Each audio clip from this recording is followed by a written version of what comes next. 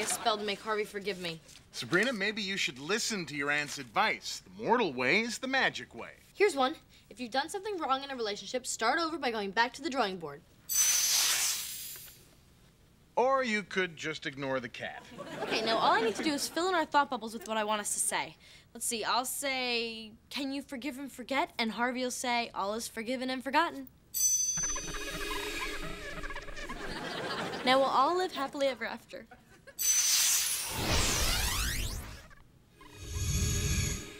Wish me luck. Hey, you should try to get on The Simpsons.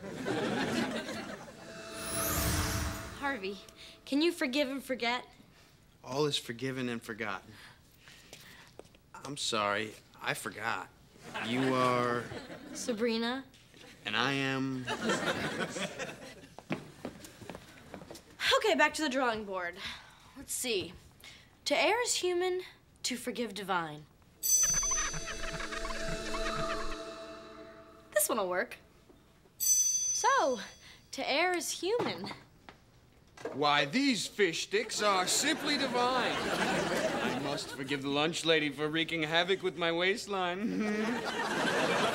Sabrina, your outfit. Divine. Okay, apparently with this board you have to choose your words very carefully. So, something simple and heartfelt. Harvey, let go and let God.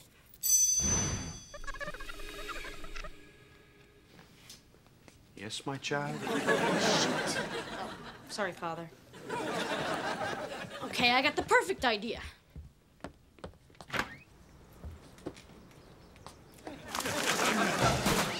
Hey, I was going to use that board to mend the rift between me and Yvonne De Carlo. Oh, sorry. Are you sorry? Yes, very. I'm so glad to hear you say that. I'm so glad to say I'm sorry. I- I'm sorry I didn't say I was sorry sooner. But I'm sorry. None of this would have happened if I hadn't taken you for granted.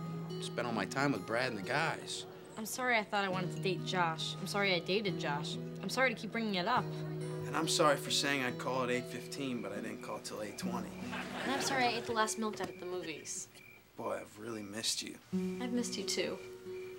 You know, I thought I couldn't forgive you, but sometimes I feel like I'm under your spell.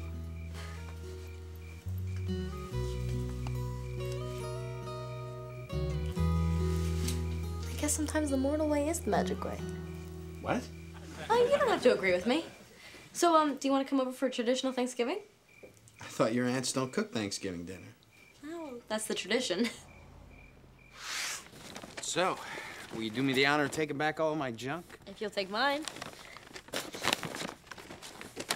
Hey, you varnished it. Oh, yeah, my dad sprayed it, so no termites. I thought of another way for you and Harvey to get back together.